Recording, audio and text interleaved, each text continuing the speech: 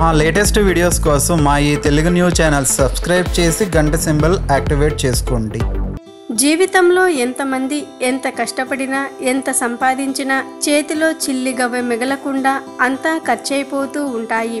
డబ్బు సంపాదించినట్టే ఉంటుంది కానీ ఎప్పుడూ డబ్బులు కొరతగానే ఉంటాయి. ఇలాంటి సమస్యల వల్ల ఏమీ చేయలేని నిస్సహాయ స్థితిలో ఉంటారు. తమను దరిద్రం దురదృష్టం వెంటాడుతున్నాయని బాధపడుతూ ఉంటారు. చాలామందికి వ్యక్తిగత సమస్యలు అప్పు సమస్యలు ఇతర సమస్యలతో బాధపడుతూ ఉంటారు. ఇంట్లో ఎక్కువగా డబ్బు పొదుపు చేయలేకపోవటం పిల్లలు ఉద్యోగంలో స్థిరత్వం సంపాదించలేకపోవటం సరిగ్గా చదవలేకపోవటం ఉద్యోగ సమస్యలు ఎంతగా ఖర్చులు తగ్గినా విపరీతంగా డబ్బు ఖర్చు కావటం ఆర్థికంగా అప్పుల పాలవటం లాంటి సమస్యలు ఎక్కువగా ప్రతి మానవుడు ఎదుర్కొంటూ ఉంటాడు.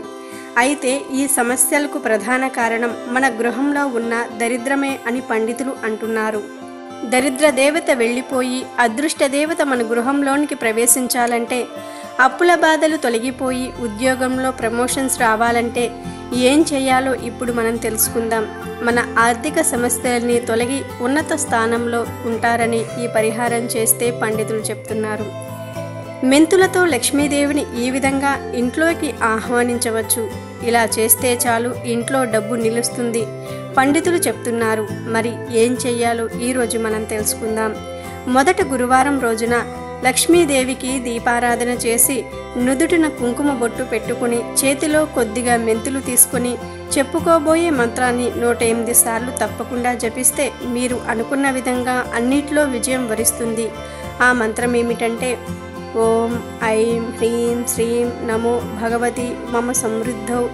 జ్వల జ్వల మా సర్వసంపద. దేహి దేహి మమ అలక్ష్మీనాశాయ హాం ఫట్ స్వాహ. అనే ఈ మంత్రాన్ని తప్పకుండా నూట ఎనిమిది సార్లు జపించాలి.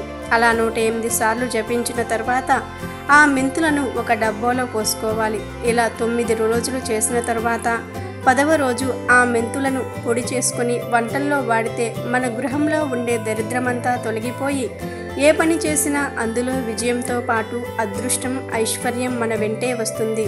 మనసుకు ప్రశాంతత శాంతి కలుగుతుంది.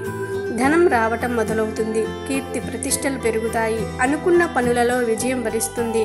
కావున మీరు కూడా ఇలాంటి సమస్యలతో బాధపడుతున్నారా? అయితే ఇప్పుడు మనం చెప్పుకున్న విధంగా గురువారం రోజు లక్ష్మీదేవిని పూజించి మీ సకల దారిద్ర్యాల నుంచి విముక్తిని పొంది మీ కుటుంబంతో కలిసి సంతోషంగా ఆయురారోగ్యాలతో జీవించండి.